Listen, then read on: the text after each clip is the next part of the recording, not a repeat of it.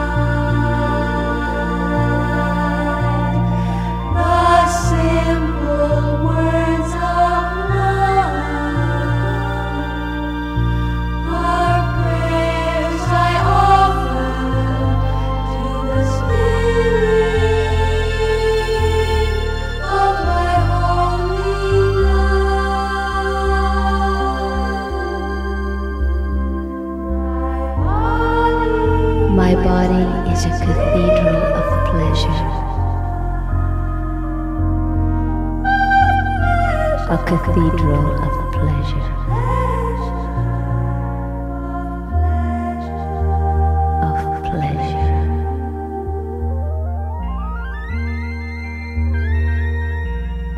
I believe in the color of eyes, the wild whisper of hair, the honeyed flavor of a mouth. I believe that love is the one answer worth receiving. I believe in the flesh transcendental. I believe in the God of being. I believe in the orgasm infinite and the body liberated. I believe, as Salome, in unendurable pleasure, indefinitely prolonged. If you enter my